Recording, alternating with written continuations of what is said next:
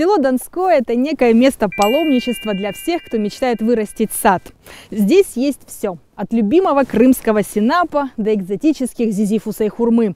И этот сосновый лес здесь тоже не просто так. Сейчас обо всем расскажем.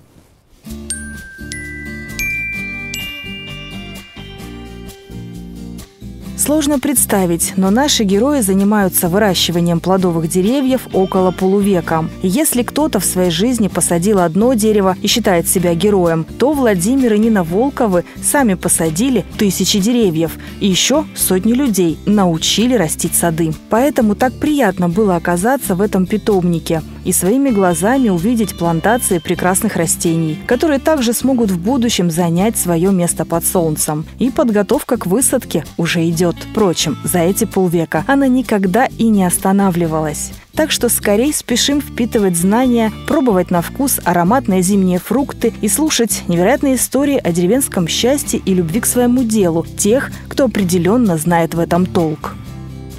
Редкий случай. Я считаю себя счастливым человеком. Почему? Потому что мое хобби совпало с моей работой. Я люблю растения.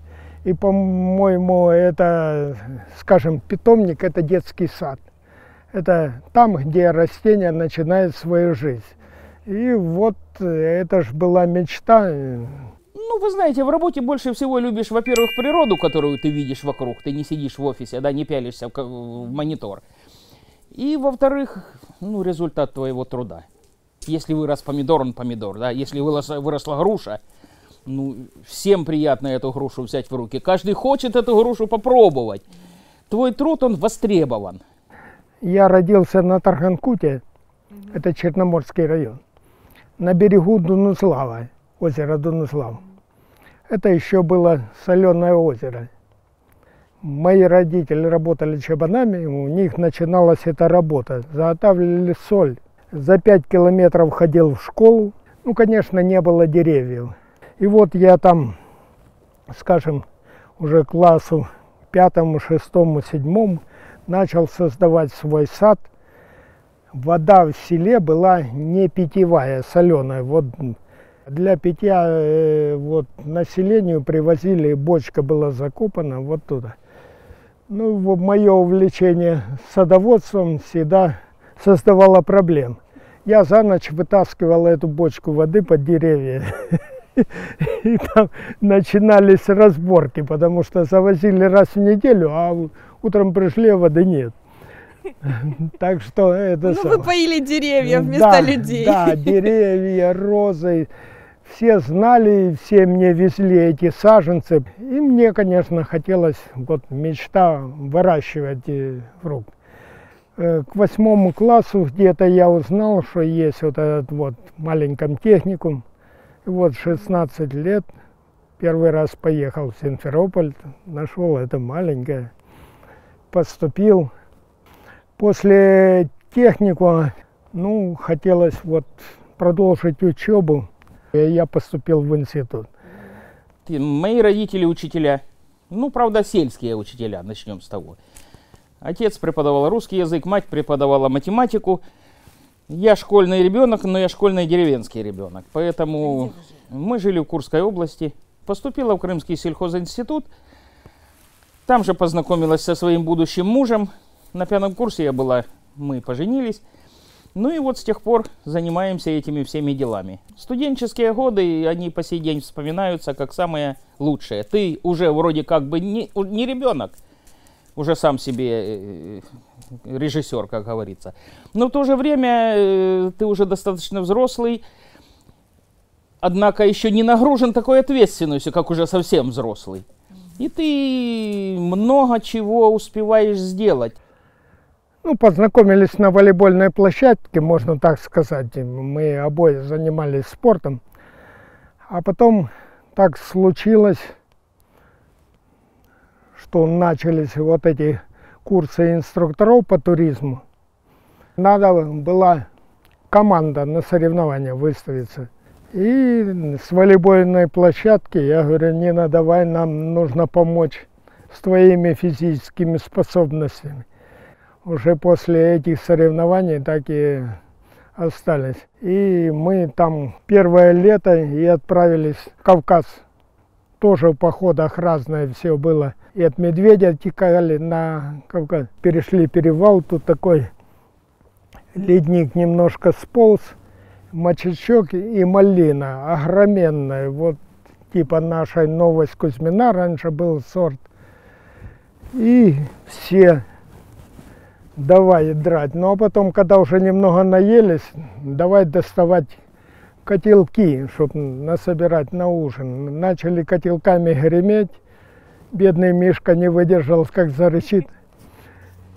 Так мы за один переход прошли следующий день. Вот так, бегая от медведей, покоряя перевалы и сажая сады, Нина Петровна и Владимир Григорьевич стали семьей. А для семьи важно найти уголок, где будет стоять большой дом, где будут цвести за окнами персики, и где все будут целыми днями в заботах, но все же счастливы и уверены друг в друге. И как-то получилось, что именно такой уголок был обнаружен в простом крымском поселке. Обошли Кавказ, Карпаты, Урал. И, конечно, в Крыму, Севастополя, Феодосию с десяток раз ходили по вершинам, вот по главной крымской гряде. И, конечно, вопрос был, чтобы остановиться на работу, и горы было видно. Донском начал строиться, было очень сложно, 90-е годы. Корову 7 лет держали. Дети маленькие, боялся, что вот э, будут пухнуть с голода. У меня была зарплата канистра бензина. А мне нужно было 4 хотя бы, чтобы ездить в город. То есть э, такое было перекося. Ну, начинали с того, что мы работали агрономами. Он работал агрономом по многолетним, то есть сад, виноград. А я работала на тепличном комбинате. Сначала выращивала гвоздику, потом овощи. Ну, а потом, когда все это прекратилось, э, мы построили этот дом. И уже в процессе, пока его строили, начали выращивать саженцы. Потому что, ну, площади большой не было. Что такое сад из 10 деревьев, да? На что-то надо было жить, потому что заработки в, в начале 90-х годов, вы, наверное, не помните, вы еще не в том возрасте. Спасибо. Но были, Но я помню. но были очень условные заработки, приходилось Зарплату лобзиками я знаю. Ну и с тех пор как-то вот уже на- э, в этом доме мы живем 30 лет. Там нам выделили личное подсобное хозяйство. Мой участок и его участок мы объединили, получился питомник. Это сложно. Каждый год, полгода мы работаем без выходных. Летом ты выращиваешь саженцы, зимой обрезка, формировка, заготовка черенков, там, заготовка, э, по- подготовка семян к весеннему посеву. Ну, в садоводстве, особенно в питомниководстве, не бывает каникул. Поэтому сложность, конечно, имеет место быть, но всю жизнь так работаем, вроде как и привыкли. Теперь и мы примемся за дело, под руководством Владимира Григорьевича, конечно. Хотя сейчас в межсезонье деревья отдыхают и не требуют ежеминутного внимания. А мы можем копать, а можем и не копать. Да и теорию никто не отменял. Вот вы, например, знали, что каждое дерево кизила готово давать свой урожай человечеству не одну сотню лет. Вот стоит хурма. Конечно, ни одного дерева больше в деревне здесь нет такого. И сосед выходит после Нового года так с больной головы снежок лежит, и вот она светится ярко на утреннем морозном солнце. Что это у тебя за помидоры висят? Я говорю, да хурма, вот ты как придумаешь. Не верят. Люди не верят, что на- это ж субтропическая культура. То есть мы из субтропики, мы находимся на северном склоне Крымских гор. Ну и одна из основных культур у нас, конечно, кизил. Мы много лет потратили на то, чтобы научиться промышленно выращивать саженцы и официально имеем лицензию на выращивание саженцев промышленно сортового кизила. Кроме того прочего, в России зарегистрировали четыре сорта кизила, и в том числе Два из них, так сказать, по названию, по именам наших старших внуков, Артемия и Настя. То есть э, много потрачено сил, но они потрачены, я считаю, не зря. Да, вот он, кизелок. В частности, это сорт Артемий. Э, ну, для нас это больше, чем родное дерево. Мы с ним говорим как с живым, одушевленным предметом. То есть, поэтому эта культура очень долговечная. Надо признать, что она не требует ни специального ухода, ни обрезки, ни... то есть вырасти и посадить капитально саженец, и он будет плодоносить 300 лет. Ни одна культура так долго не плодоносит. Нужно только собирать вовремя урожай. Что у вас за персонажи у вас помогают вам работать? Это тут у меня постоянно э, соседские коты любят и всегда меня сопровождают. Сейчас подойдет зима, выпадет первый снег, уже никого здесь не будет в питомнике. И я буду в сопровождении их ходить, наблюдать за состоянием сада. Ну, такие помощники, наверное, от грызунов спасают. Да вот любят меня страшное дело. Эта долина называется Бештерек, реки Бештерек. Могли без проблем, без укрывки расти и плодоносить сорта винограда, особенно столовые. Сегодня выведена масса новых современных сортов, которые до 30 градусов спокойно переносят. Но у нас сорта солнца и тепла достаточно, поэтому под виноградом прекрасно себя чувствует земляника. Значит, э, кроме того, вот мы видим здесь рядом роза растет. Роза и виноград, это называется полезно, приятно и красиво. Дело в том, что по своей физиологии на ней проявляются болезни на 2-3 дня раньше, чем на винограде. Если на винограде еще это все как бы э, замаскировано и визуально не видно, то на розе появляется эта плесень, то есть мучнистая роса. Это первый сигнал, что надо немедленно обрабатывать виноград. Пробуй, это все можно... Это вот прямо с дерева? Это прямо с дерева, да. Обалдеть, хурма настоящая. Крымская хурма. Вот что удивительно. Вкуснее а главное, крымской да. хурмы не бывает. Угу. М полезная. М Очень вкусно. И представьте, да, вот уже зима, а у нас хурма. Красота. Мы идем дальше, а питомнику не видно конца и края. Если бы не холмы, укрытые шапкой пушистых сосен, то и там быть бы фруктовым садам или лесополосе из хурмы. А что касается сосен, Владимир Григорьевич по случайному стечению обстоятельств имеет и к ним непосредственное отношение. Приехали лесники, местное лесничество. Им срочно нужна была программа, кинули деньги, а вот нужна была посадка леса. Большая площадь. Ну и кто-то ко мне их. Ну, я подписал эти документы от колхоза. И вот это весь склон засадили лес. Конечно, оно первых пять лет вообще страшно смотреть. Найти нельзя было эту сосну среди Это сорняков. Какое, какие масштабы, как много.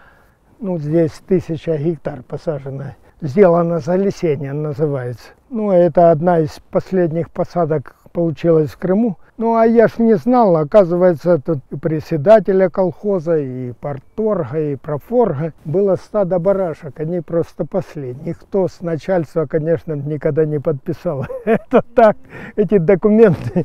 А я бухнул, так меня ставили к стенке все время, говорили, вот пропадет посадка, мы тебя но теперь здесь лес. А теперь я любуюсь, оказывается, вот такая получилась судьба. Ну вот для наших мест совершенно уникальная штука, это лесополоса хурмы.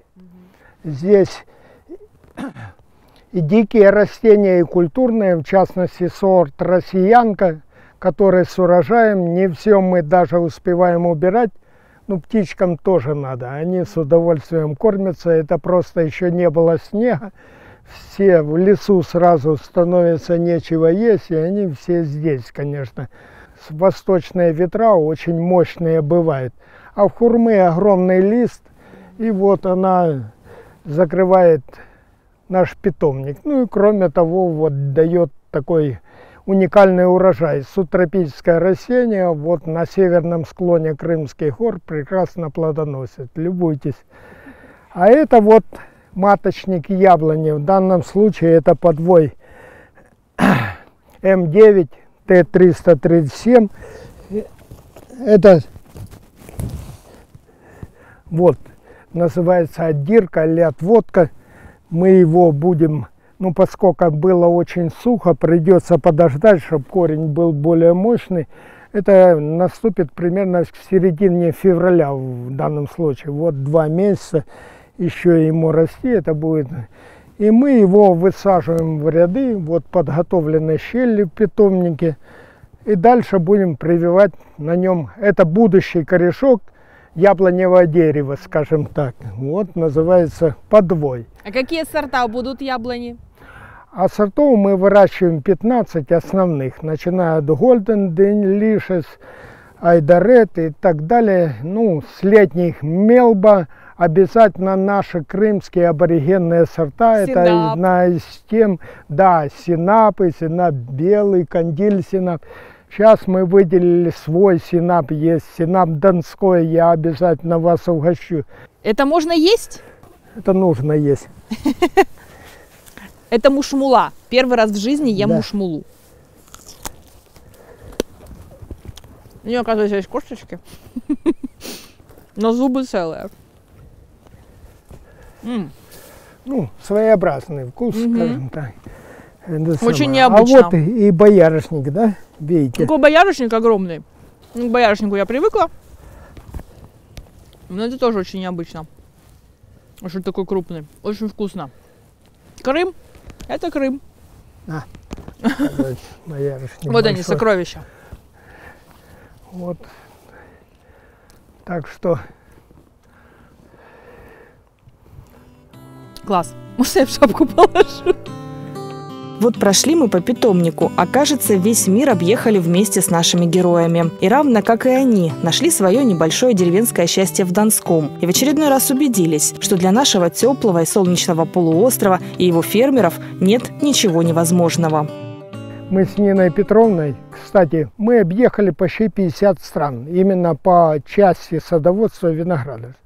То есть в Северной Америке, в Канаде, в Штатах были, Чили, Аргентине, там и на Кубе и так далее. Ну а в Европе вообще там за месяц по 10 стран объезжали. Выезжали, брали бусик, собирали команду на Украине. Я был лидером в этом плане. Кончаем поездку. Владимир Григорьевич, куда едем в следующий раз? Новой Зеландии. Мы в Новой Зеландии были. Обязательно, с Ниной Петровной. Класс. По садоводству, не просто так. Это, Это же край света. это уже другой край. Это точно, это другой край. И что там в Новой Зеландии? Там впечатление у меня отовсюду, куча. Дело в том, что я живу на позитиве, и у меня всегда вот эта куча позитива от всех поездок. Так вот, э, я скажу, что в Крыму, конечно, возможности колоссальные. Отдых нужен обязательно. Мы любим проводить отдых, как говорится, зимой в теплых краях. Ну, в теплых краях как? Приехали, полежали на пляже денечек, дня 3-4 по экскурсиям. При, экскурсии закончились, еще денечек другой полежали на пляже, опять по экскурсиям. Ну, я не могу сказать, что мы привыкли лежать. Мы привыкли вообще-то двигаться. И давно мы были в Таиланде, и там ухитрились.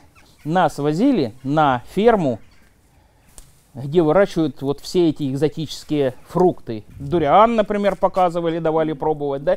А вот удивило, вы знаете, что интересно?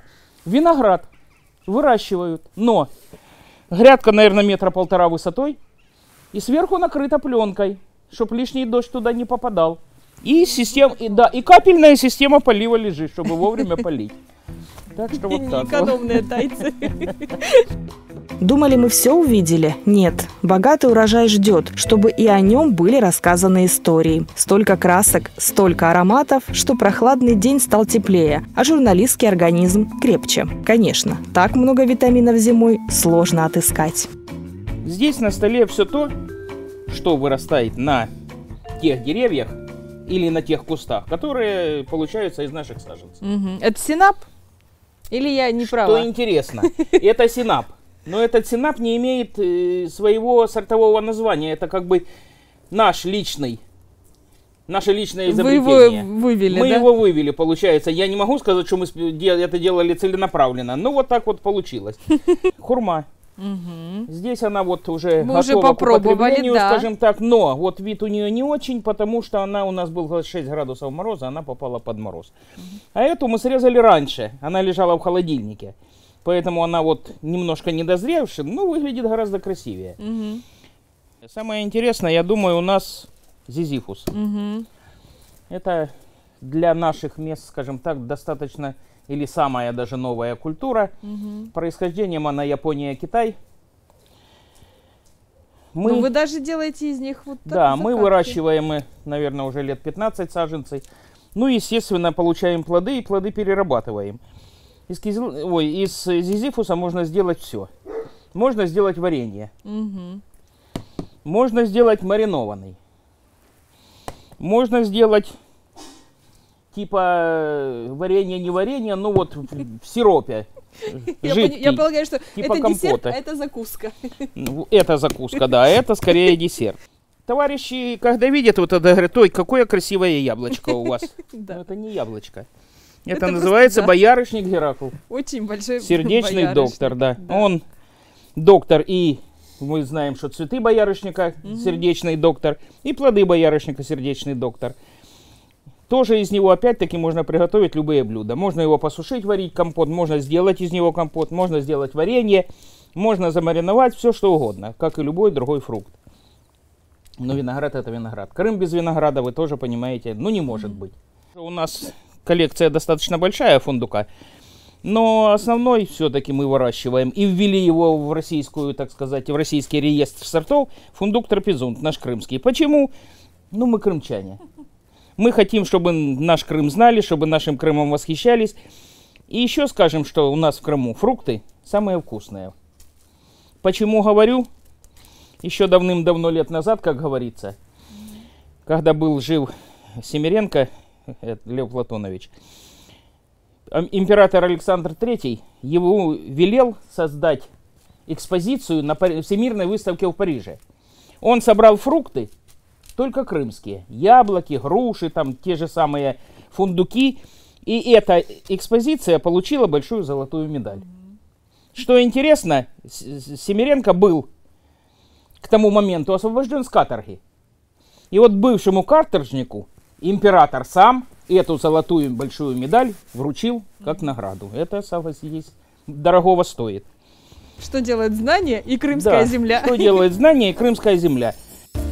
Сейчас наши герои продолжают заниматься любимым делом. Пишут статьи и пособия, выводят новые сорта растений, ежегодно производят тысячи разных саженцев и точно знают, что их знания помогут еще не одному поколению садоводов. И каждый день, работая в питомнике, видят в этом свое счастье и свое будущее. Средней внучке сейчас уже 5 лет. Ей, э, у нее день рождения 31 мая. Вот ей исполнился день э, рождения 31 мая, год ей был. Они приезжали там, я знаю, за день раньше.